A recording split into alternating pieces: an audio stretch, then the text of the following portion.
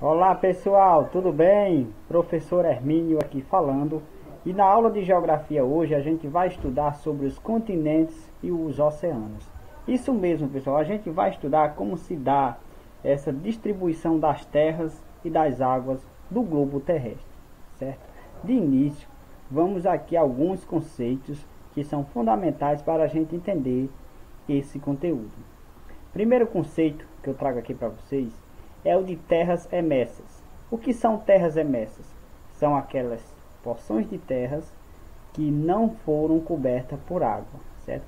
A gente sabe que a maior parte da superfície do nosso planeta Terra é coberto por água, certo? Mas aquelas partes mais altas não é coberta por água. Então, é, são as terras emessas, que são formadas pelos continentes e ilhas. Continentes e ilhas são porções de terra cercada por água. O que é que vai diferenciar um continente de uma ilha? O continente é uma grande extensão de terra cercado por, por oceanos, né, por água, eh, que no caso os oceanos. Já a ilha são pequenas porções de terra cercada por água, certo? E essa a diferença entre o conceito de continente e de ilha, certo? É, não existe um padrão, um, um total de dizer que a partir de tantos quilômetros vai ser um continente ou a partir de tantos quilômetros vai ser uma ilha, certo? Aqui só para a gente ter como base, né, a maior ilha do mundo, né, Groenlândia, que pertence à Dinamarca, certo? E o menor continente, a Oceania, né, que é considerado o menor continente, ok? Então, as terras emessas são formadas por continentes e ilhas. E tem também as terras imensas, que é formada pelos oceanos e mares. Terras imensas, aquelas que estão, foram cobertas, né, são cobertas por oceano, por água, não é isso? É, a maior parte da superfície terrestre é composta por água, não é isso? E essas águas, ela formam os oceanos, certo? A parte do, dos oceanos que estão mais próximo ao continente, aquela que sofre influência do continente e também vai influenciar o continente, aí a gente chama de mar, certo? É, mas no geral, todas essas massas d'água aqui que nós estamos vendo são os oceanos. Apenas aquelas partes mais próximas, certo? Que geralmente está influenciando o continente e sendo influenciado pelo, pelo, pelas, pela dinâmica do continente, aí nós chamamos de mares, certo? Mar, né? Outros conceitos que são importantes, pessoal. Península. O que é península? Península, porção de terra cercada de água por todos os lados, exceto por um, no qual se liga ao continente. Então aqui, ó, por exemplo, aqui tem vários exemplos de penínsulas, né? A Europa, né? Há quem diga que do ponto de vista geológico, todo o continente europeu forma uma península, certo? É, depois a gente vai discutir sobre isso, né? Então, só para vocês entenderem o que significa uma península, ó, uma pequena, é, é, quando tem essa porção de terra que ela é cercada por águas por todos os lados, ó, que eu estou citando o exemplo aqui da Península Itálica, certo? É, apenas um que está ligando ao continente, é chamado de península, certo? Dependendo do tamanho, pessoal, eu vou até dependendo do tamanho, pode é, pode receber outros adjetivos. Essas porções de terra que são cercadas por água em todos os lados, aí apenas um liga ao continente. Quando é pequeno, certo? É a, a extensão de dessa terra ela é pequena, a gente pode chamar de cabo, certo? Se tiver uma extensão pequena. E se for uma extensão mais pequena ainda, a gente chama de punta, certo? E aí as maiores extensões a gente chama de península. É, digamos que a península seja quando o continente, a parte do continente entra sobre o oceano, certo? E quando é o oceano que entra sobre o continente, né, quando apresenta essa reentrância, né, que é a entrada do mar sobre o continente, aí a gente pode chamar de Golfo, Bahia ou Enseada, certo? essa diferença de o que é um golfo para uma baía ou ensenhada é apenas a extensão, seu formato, certo? É, então, a, o golfo é quando essa reentrância ela abarca uma área maior, certo? O Golfo do México, por exemplo, certo? Já a Bahia é, média, né, essa entrada, né, como exemplo aqui a, é a Baía de Guanabara, certo? Tem a Baía de Todos os Santos, entre outros exemplos. Já a enseada é pequena a entrada do oceano sobre o continente. Nós temos aqui no Rio Grande do Norte, ali próximo a Natal, se a gente analisar o mapa, a enseada de Ponta Negra, né, tem a enseada de Botafogo no Rio de Janeiro, entre outros, certo? É, outro conceito, certo, que a gente deve entender é o de istmo. O que é istmo? Istmo é uma estreita faixa de terra situada entre dois mares, ou seja, ela está ligando é, duas porções de terras maiores, mais largas, certo? Essa estreita faixa de terra. Eu citei aqui o exemplo aqui do, do istmo do Panamá, certo? Que é essa parte aqui lá na América Central, né? Que liga uma parte maior, que é a América do Sul, a, uma, é, a outra parte maior, que é a América do Norte, certo? A gente chama de istmo. Entendendo esses conceitos, agora vamos ver como é que se dá a distribuição certo, das terras emersas e das águas né, e dos oceanos né, pelo globo. Certo? Em porcentagem, 71% da superfície terrestre é formado pelos oceanos e mares, aqueles que compõem aquela parte das terras imersas. Certo? E 29% é o que forma as terras emersas, né, que são os continentes e ilhas. Certo? É, se de repente um, um alienígena, um ET, um ET viesse visitar o nosso planeta, eu acredito, se isso existisse, se existir, eu acredito que ele certamente não chamaria, pessoal, de planeta Terra, certo? Poderia chamar de planeta azul, planeta água, certo? Por causa que a maior parte do nosso é, da superfície do nosso planeta ela é composta por água. Né? O primeiro ser humano aí ao espaço, né? o, o soviético, o Yuri Gagarin, quando ele sobrevoou é, em órbita do planeta Terra, ele disse a frase, né, que a Terra era azul, certo? É, continuando, pessoal, para entender a questão dos continentes, certo? É, como é que se dá a distribuição dos continentes? Existe divergência, porque são muitos critérios.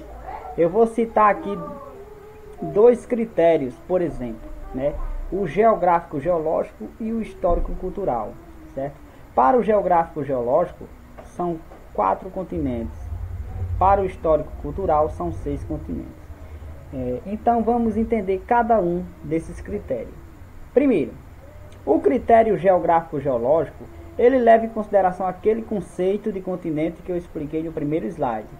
Grande extensão de terras cercadas por água, certo? E se a gente for é, levar esse conceito ao pé da letra, a gente tem aqui um continente, uma grande porção de terra cercada por água, que é a América, nós temos aqui a Antártica, ou Antártida, né?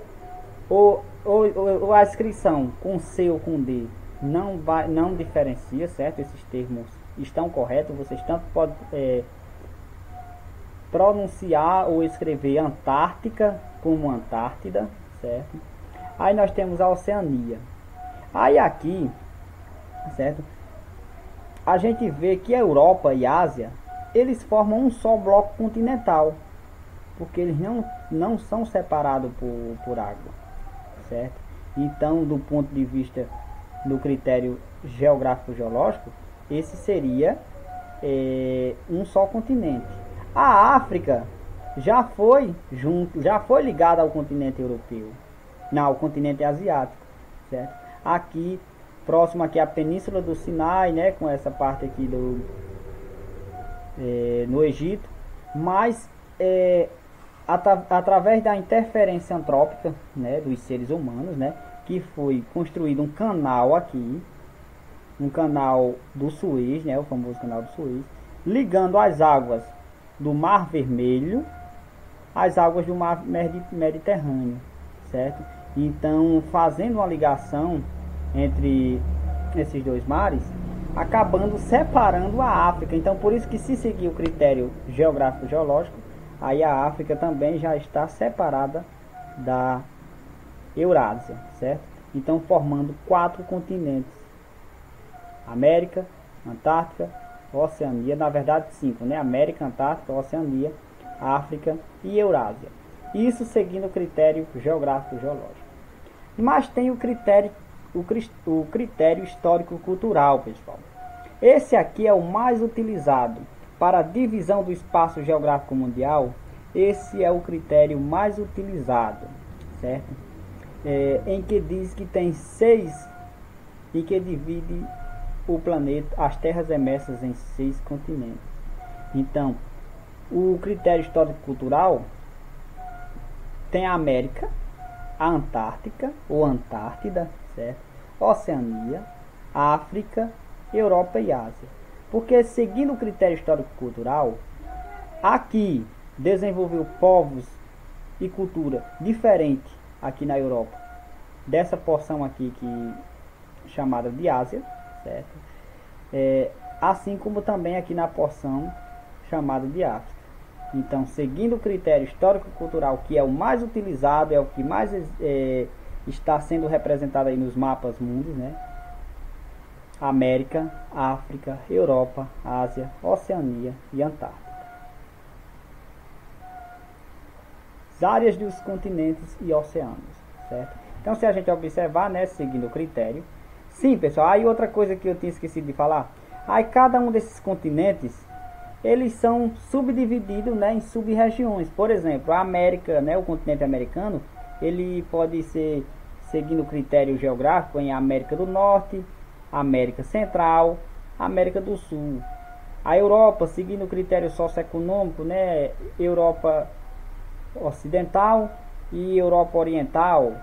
A Ásia, né, tem várias regiões, já mais conhecida Oriente Médio, aí tem o Sudeste Asiático, o Sul da Ásia, o Extremo Oriente, é, a África, África do Norte, África Subsaariana e assim por diante. Então, as áreas dos continentes e oceanos. Aqui essa tabelazinha mostra, mostra certo? É, por quilômetro quadrado, quais são os maiores continentes, né? Os continentes mais extensos, assim como também os oceanos, né? Então nós temos aqui a Ásia, a Ásia que é um continente mais extenso, aí seguido de América, África, Antártida, Europa e Oceania, o menor continente, como eu já tinha falado para vocês. Dentro dos oceanos, o mais extenso é o Pacífico, seguido de Atlântico, depois Índico e o Glacial Ártico.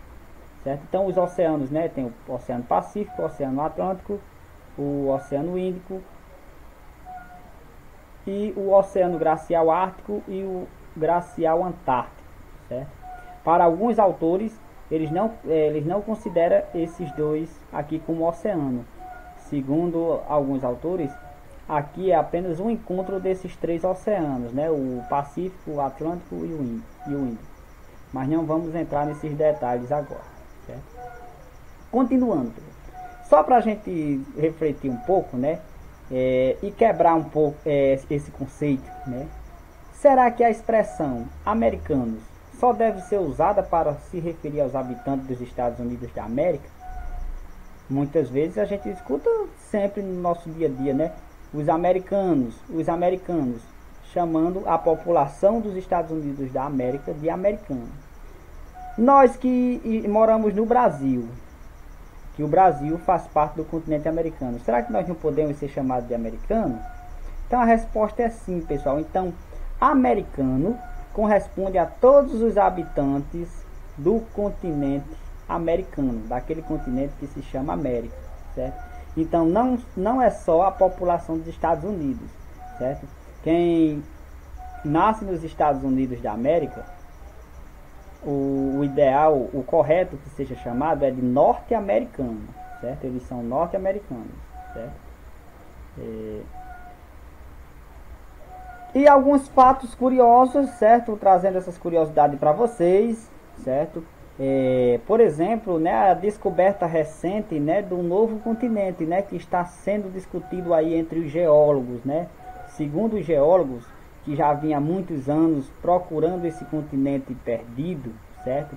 Segundo eles, eles encontraram esse continente chamado de Zelândia, certo? Que é formado pela Nova Zelândia e as ilhas de Nova Caledônia.